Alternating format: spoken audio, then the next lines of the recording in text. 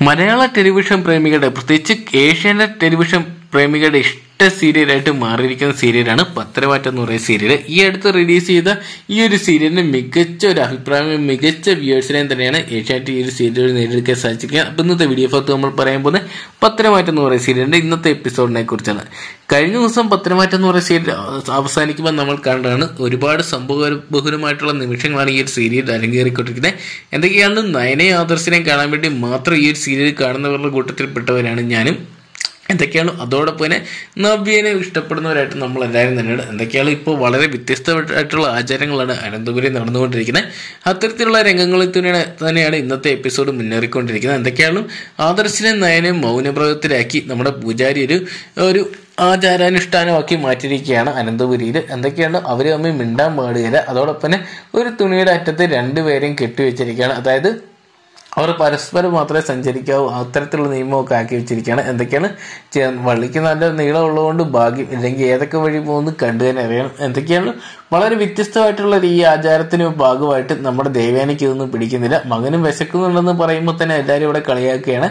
ആ ഒരു ആങ്ങി ആംഗി കാണിക്കുമ്പോൾ നമ്മുടെ പൂജാരി പറയുന്നുണ്ട് എനിക്ക് വിശക്കുന്നില്ല. ഞാൻ രാവിലെ കുറച്ച് ആയുർവേദം മരുന്നും കാര്യങ്ങളൊക്കെ ആയിട്ട് കഴിച്ചിട്ടാണ് വന്നതെന്ന് പറയുകയാണ്. അപ്പൊ പറയുന്നുണ്ട് ഹനി പറയുകയാണ്. അതായത് ചേട്ടൻ ഇപ്പൊ പറഞ്ഞിരിക്കുന്നത് എന്താണെന്ന് എനിക്ക് മനസ്സിലായി. ചേട്ടൻ പറയുന്നത് സമയത്ത് ആഹാരം കഴിച്ചില്ലെങ്കിൽ ഗ്യാസ് കയറുന്നതാണ്. അത് കേട്ട് ആദർശിന് നല്ലപോലെ ദേഷ്യം വരുന്നുണ്ട്. അതിനുശേഷം അമ്മ പറയുന്നുണ്ട് എനിക്ക് മനസ്സിലായി മോനും വിശക്കുന്നുണ്ടെന്നാണ് പറയുന്നതെന്ന് പറയുന്നുണ്ട്.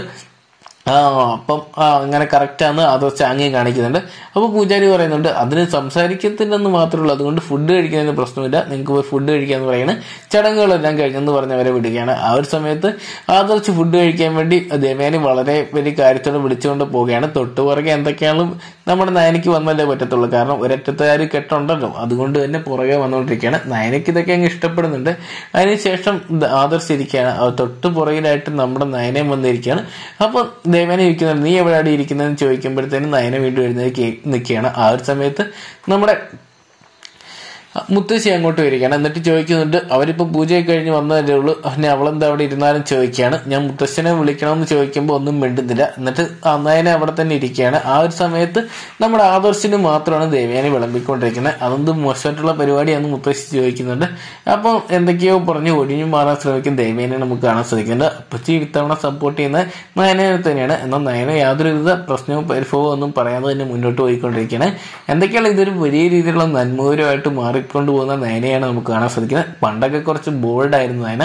എന്നാൽ കല്യാണം കഴിഞ്ഞതോടുകൂടി തന്നെ കൂടി തനി ഒരു ഒരു വീട്ടമ്മയായിട്ട് മാറുന്ന അല്ലെങ്കിൽ ഒരു ഭർത്താവിന് അടിമപ്പെട്ട് ജീവിക്കുന്ന ഒരു സ്ത്രീയായിട്ട് മാറുന്ന കാഴ്ചയാണ് കാണാൻ സാധിക്കുന്നത്. അതേസമയം നവ്യയുടെ ഒരു പവർ ബാക്ക് അല്ലെങ്കിൽ പവർ